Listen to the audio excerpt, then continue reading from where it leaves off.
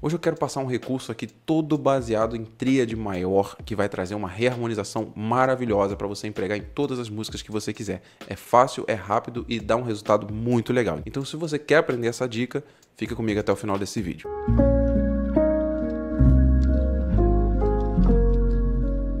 Eu sou Anderson Nascimento, professor de música há mais de 15 anos e venho trazendo esse conteúdo descomplicado aqui para o YouTube para facilitar a nossa vida na música, facilitar a nossa vida no teclado principalmente. Se esse conteúdo te interessa, você pode se inscrever nesse canal para você receber os próximos vídeos. E se você gostar desse vídeo, você pode deixar o seu like, assim você me ajuda a tornar esse vídeo mais relevante, entregando para mais gente e me motivando a fazer mais vídeos. Pode deixar nos comentários uma sugestão de que tipo de conteúdo, que matéria você gostaria de ver aqui numa videoaula nesse canal. Te convido a conhecer aqui o meu Instagram, tá bom? Tá aparecendo aqui na tela e lá tem uns conteúdos muito bacanas, mais corriqueiros, mais dia a dia, stories de percepção, os rios sobre conteúdos teóricos, rios sobre memes musicais. Então tem muita coisa bacana por lá. Te convido a dar uma conferida. Vamos então para nossa aula aqui, eu quero mostrar rapidamente essa técnica e vai fazer um resultado maravilhoso. A primeira coisa que nós precisamos saber aqui são os acordes maiores. Para quem não sabe, acordes maiores, tríades maiores são formadas por fundamental, terça maior e quinta justa. No caso em dó, você vai ter o dó, a terça maior dele é mi e a quinta justa é sol, beleza? Para calcular os intervalos, tem duas formas de pensar. Ou você pensa a terça maior sendo Mi e quinta justa sendo Sol de cara, ou se você não sabe pensar assim, você conta semitons. Então, saindo do Dó, eu conto quatro semitons e eu encontro a terça maior. Ré bemol, Ré, Mi bemol e Mi. Eu contei um, dois, três, quatro semitons, eu cheguei no meu Mi. Se você partir de qualquer acorde de Sol, dois, três, quatro semitons. Você sempre quatro semitons. À frente você vai encontrar uma terça maior. E é ela que nós precisamos. Então você precisa saber encontrar a terça maior com facilidade. Terça maior, se eu quiser encontrar a próxima, que seria a quinta, a quinta justa, aliás, você vai andar três semitons agora, a partir do Mi, tá? Então, um, dois, três. Cheguei aqui na próxima nota. 1, 2, 3, 4, depois 1, 2, 3. Assim eu encontro qualquer tríade maior, qualquer uma. Se eu quiser partir aqui, por exemplo, do Fá sustenido, 1, 2, 3, 4, 1, 2, 3, eu encontro a tríade maior. Também tem um caminho aqui para a tríade menor, mas depois a gente fala disso num outro dia. O que, que a gente faz com a nossa tríade maior? A gente pega uma música e toca, simples, de boa.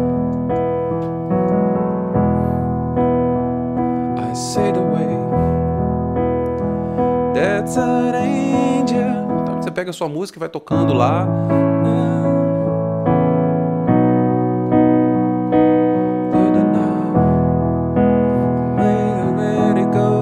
Meu inglês é ótimo, né? Então você pega os acordes e toca, bate os tempos direitinho, encaixa as trocas no tempo certo, faz algumas inversões e está pronto. Agora o próximo elemento que nós vamos precisar para essa técnica de hoje. Você pega o 251. Você sabe o que é 251? É uma cadência de resolução perfeita. Você pega o 2, o que, que é 2? O segundo grau, segundo grau, lá do campo harmônico. Se você tiver dúvida, eu vou colocar o campo harmônico aparecendo aqui na tela. Campo harmônico de Dó é Dó maior, Ré menor, Mi menor, Fá, Sol, Lá menor e Si diminuto, beleza? Isso em tríades, beleza? Moleza de pensar. O 2, quando falamos 2 nessa cadência, a gente está falando justamente do segundo grau, que é o Ré menor, como você já viu, e o quinto grau é o Sol. E aí resolvendo o Dó. Quando você toca qualquer música, né, na, na, maioria, 99% das músicas, é harmonizada a partir das funções harmônicas simples. Então quando você toca qualquer música, ela tem esse movimento aqui. Ó. Esse é o caminho natural, esse é o fluxo natural que a harmonia sempre vai percorrer quando se toca. Foi ali pela fé que meus olhos abri e agora me alegro em sua luz. Percebeu? E agora me alegro em sua luz. Eu usei aqui o 251 para fazer a conclusão de uma música. Se eu pensar em qualquer música, eu sei que a minha vida está nas mãos do meu Jesus de novo, que vivo está. Então todas as músicas que nós tocamos, principalmente repertório mais popular, emprega o 251. Então é muito importante que você saiba o que é 251. Aproveitando falando de 251, 251 é um tipo de cadência, existem outros tipos de cadências, existem muitos elementos aqui a serem conhecidos e abordados na harmonia para que você tenha um, um, aprendizado mais completo, um estudo mais completo, mais profundo, para que isso se torne repertório, para que isso se torne recurso para você no dia a dia. Para isso, eu quero te oferecer o acesso ao meu curso de harmonia, o curso Praticando Harmonia. É um curso completo do zero ao avançado, com mais de 120 aulas de harmonia. São aulas voltadas para o estudo teórico da música. Você vai entender o que é intervalo, o que é formação de acorde, formação maior, menor, tipos de acordes com sétimas, acordes com extensões 9, 11, 13, todas essas extensões, acordes dominantes, campo harmônico maior e menor, menor harmônica, menor melódica, modos gregos, cadências, funções harmônicas, tudo do zero ao avançado que você precisa saber em harmonia. Está aparecendo aqui na tela as informações para você saber um pouquinho mais. Se você quiser ter essa oportunidade de estudar, aprofundar os seus conhecimentos, eu quero te dar um presente. Quero deixar aqui na descrição um cupom de 50% de desconto, mas é por pouco tempo. Acesse o link desse vídeo e acesse e coloque o cupom lá para você pagar o preço 50% de desconto nesse curso com acesso vitalício e todo o suporte das comunidades pelo WhatsApp. Você vai ter um contato direto comigo para tirar suas dúvidas. Então, além do material, você tem todo o suporte que você precisa diretamente comigo. Então não perca essa oportunidade. Acesse o link da descrição e vem ser meu aluno, vem participar dessa comunidade que vem crescendo muito e vem trazendo muito aprendizado para a galera, tá bom? Te espero lá.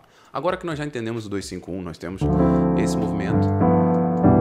Quando nós começamos a colocar os, os temperos, né, os acordes já não soam tão cruz, depois que você estudar, aprofundar um pouquinho mais suas formações de acorde, você vai entender que o 251 ele é uma cadência muito bonita, vai deixar tudo muito completo na, na, na nossa interpretação, né?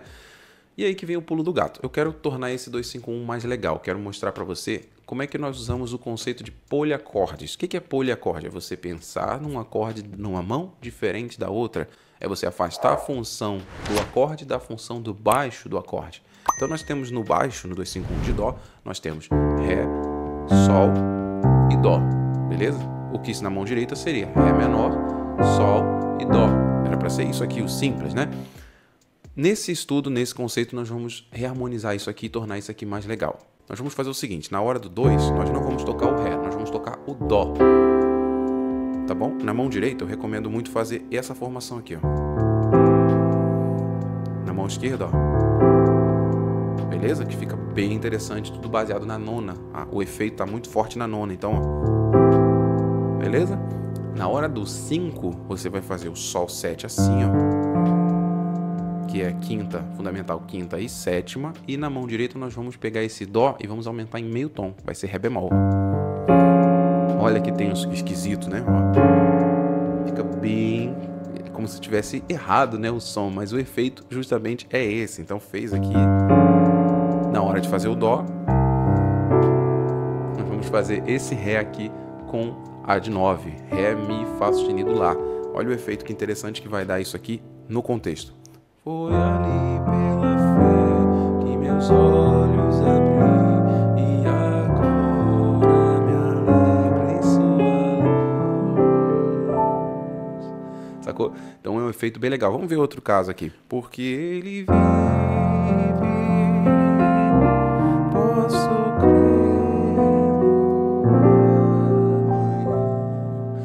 olha que interessante essa tensão. É de chorar, cara, é lindo demais. Então, sempre que você for fazer um 251, uma preparação, você pega o 2, coloca ele suspenso. Você vai fazer, nesse caso aqui eu fiz em Fá, na hora de fazer o 2, que seria Dó menor, eu fiz ele suspenso. Eu fiz simplesmente um Si bemol. É só você fazer um acorde um tom abaixo. Na hora de fazer o Fá 7, eu peguei esse acorde que eu tô aqui, o Si bemol, e aumento em meio tom, beleza? Ó. Posso crer.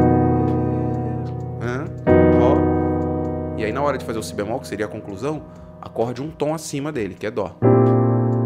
Beleza? Tranquilo? É interessante que a mão direita, ela faz, ó, sempre um movimento de meio tom subindo. Então, si bemol, si, dó. Então você pega isso aqui e começa a levar para os outros tons. Se você estiver tocando em ré, ó, porque ele vem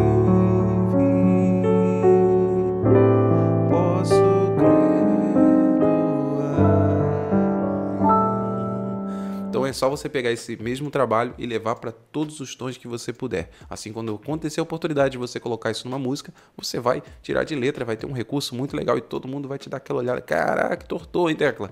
Então é é, é, sobre isso. É pegar os recursos que nós temos na harmonia, entendê-los e aplicá-los em vários tons. E aí vai dar um trabalhinho. Eu recomendo que você estude um tom de cada vez, de repente um tom a cada dia. Cada vez que você for sentar para estudar, estuda só um tom.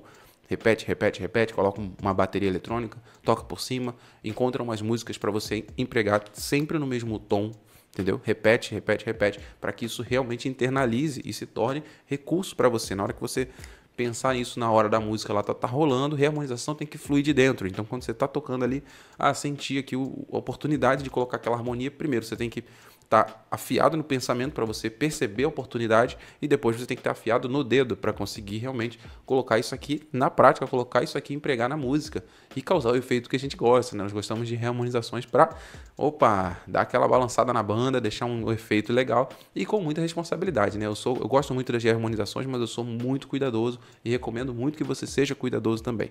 Não empregue é, na música inteira para não ficar cansativo, não sai colocando toda hora e não empregue, se você vai tocar quatro músicas, não coloque em todas.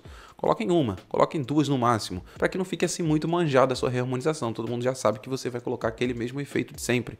Então, tenha mais de um recurso, vai estudando aos poucos. Todo o conteúdo aqui no canal vai servindo para você aplicar repertórios de recursos e técnicas no seu dia a dia, tá bom? Então é isso, esse vídeo vai ficando por aqui. Eu espero que eu tenha te ajudado. Se eu te ajudei, você pode me ajudar clicando no like, deixando seu like nesse vídeo, assim, me ajudando a tornar esse conteúdo mais relevante, tá bom? Se você quer receber mais conteúdo como esse, se inscreva no canal, ative a notificação para que você seja avisado quando postar mais vídeos aqui pra gente, tá bom? Pode deixar nos comentários a sua sugestão de próxima aula. Eu vou trazendo aqui os pedidos de vocês mesmo. E acesse os links da descrição, tá? Meu curso está com inscrições abertas. Existe um grupo de teclado free, totalmente free, gratuito para você entrar e trocar ideias, recursos, trocar materiais lá. Um curso, um, um grupo totalmente aberto, livre para galera se comunicar, trocar figurinhas lá. E eu vou ajudando, fazendo a mentoria lá da galera, postando conteúdos diários lá para todo mundo, fechou? Eu agradeço por você ter assistido esse vídeo. Eu fico por aqui.